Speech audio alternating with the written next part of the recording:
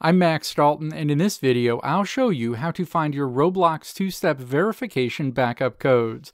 To be clear, there's no way to see any existing backup codes that you've created, and you'll need to generate new two-step verification backup codes for your Roblox account.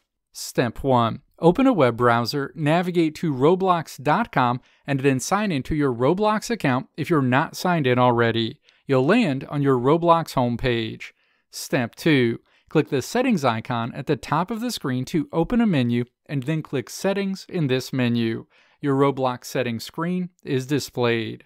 Step 3. Click to select security in the menu on the left side of the screen. Security options are shown on the right side of the screen.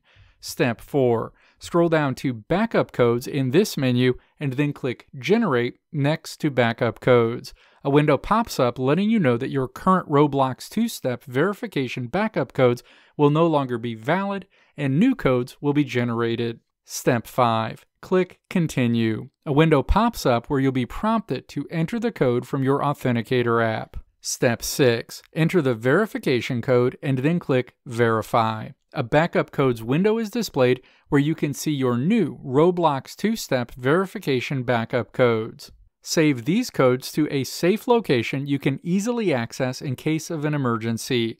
Click to indicate that you've saved your Roblox backup codes and then click Close. Let me know if this video helped you out in the comments below. If you liked what you saw here, click the video links on the right side of the screen to check out another video. Or click the logo on the left side of the screen to check out my tutorial website at www.maxdalton.how.